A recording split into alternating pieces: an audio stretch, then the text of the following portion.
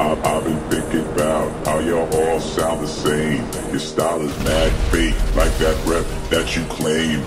Sucker ass fools need to stay inside their lane. If they don't, it's lights out, like a bullet to the brain.